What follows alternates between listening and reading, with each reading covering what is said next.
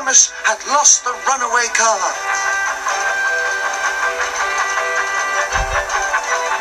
But his roller coaster ride was so much fun. Thomas soon forgot about the freight car. Then there was trouble. The tunnel ahead was blocked.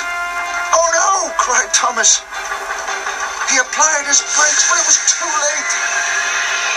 Thomas crashed straight through the blocked tunnel. With a mighty splash, Thomas landed in a pool of water. Oh, frizzling fireboxes! This tunnel is flooded! He gasped.